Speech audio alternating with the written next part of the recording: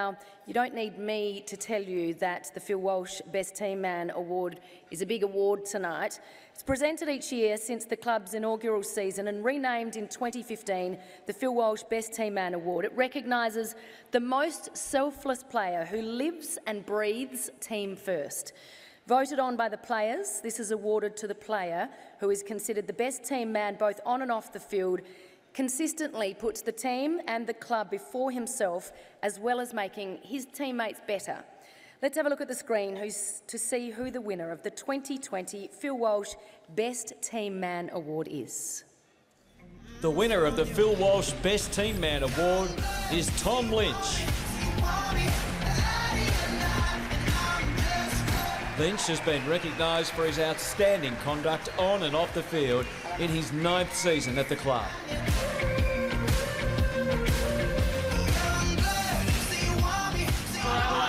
Second chance, and Lynch snatches it. He puts it through. The 30-year-old is a popular member of the playing group and is always leading by example. He has been a great mentor to many of his younger teammates and selflessly lives and breathes the mantras of team first, prioritising others.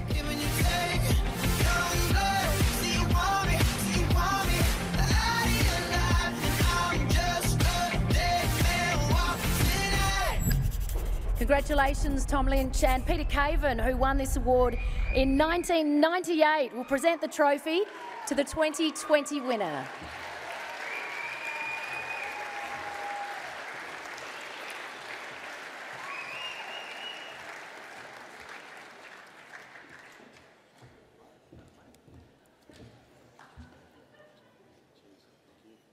Tom, congratulations. It's a popular win by the sounds of that. Can I ask you first, best team man, they're big words. What does that mean to you?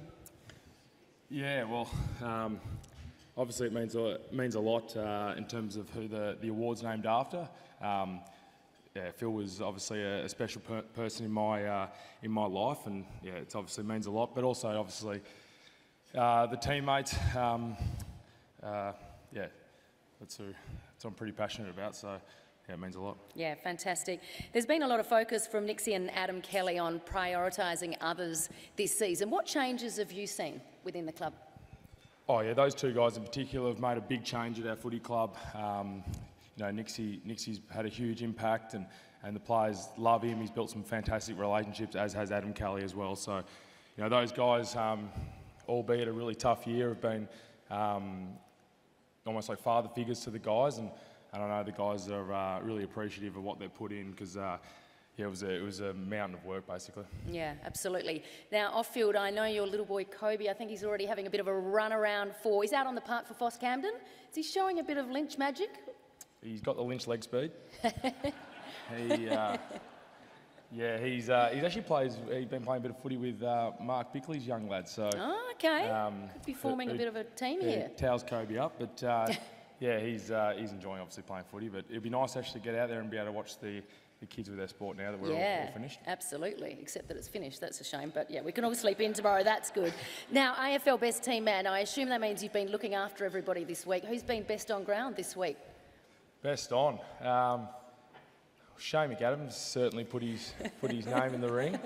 Um, no, the, the, boys this week have been fantastic. It, it, was really nice to obviously spend a lot of time together. It's, it's been a, uh, really tough year, and um, you know, being able to have a have a drink together, but also with our partners and our, and our families as well. It's been it's been super special, and um, you know, on that, I mean, I, I can't thank my wife Courtney enough, who um, has been amazing support for me this year and, and for my whole career basically. But um, you know, looking after the Rugrats at home, and um, she's been amazing this year. Because it's been pretty tough on all of the girls, hasn't it? All of the partners at home when you've been in the bubble, and so many of you have little kids running around. So I think you speak for everybody when you say that, you know, Courtney's done a good job. It's, they've all had a heavy load, haven't they? Yeah, certainly they've been, incredible and uh, they've certainly uh, endured the same amount of sacrifice we've had to this year and um, we certainly wouldn't have been able to stay as positive as we did and, and keep moving forward without their support and um, I'm sure if anyone else was, was up here tonight they'd be saying the same things and um, you know we certainly love them. Well said Tom and congratulations. Well done. It's a big Cheers. award. Well Thank done. You.